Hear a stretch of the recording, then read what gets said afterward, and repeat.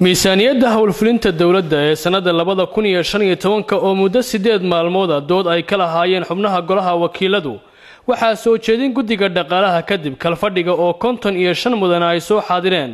Miisaaniyaddu ay heshay ansixinta aqlabiyadda baarlamaanka sida uu ku dhawaaqay guddoomiyaha baarlamaanka puntland siciid xasan shiree miisaaniyaddii laba kun baarlamaanka puntland waa ansixiyey mudanayaal kow iyo konton xildhibaan ayaa u codeeyey. Miisaaniyaddaasuna ansax weeye.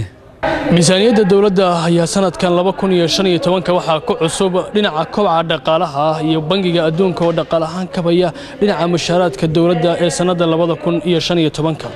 Wasaaraddu waxay noo sheegtay inay sanadka world bankuna uu kabi doono shaqaalaha rayadka ah uu ka caawin doono. Waxay kaloo keeneen miisaaniyad korora oo in dakhliga iyo wax soo saarka cashuuraha beriga ay kordhin doonaan. Arrintaasu waxaan ku faraxsannahay sida wasaaraddu u soo qortay haddii ilaahay u qadaro qadarka rabbi baale u idmo inay wax badan qabsoomi doonaan. Dhinaca kale golaha wakiiladu waxay si aqlabiyada u meelmariyeen degmada saaxa ee gobolka mudug inay ka mid tahay sharci ahaan dhulka puntland laga bilaabana maanta ay tahay degmo ku soo biidhay gobolka mudug.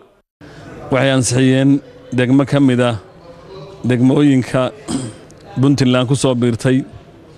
Waa degmada la yidhaahdo saaxo. Saaxo goluhu saaka ayay saaka ayay saaka ayay u codeeyeen afar iyo konton xildhibaan ayaa u codeeyey degmada saaxo. Degmadaasu waxay ka mid tahay si sharciya degmooyinka puntland.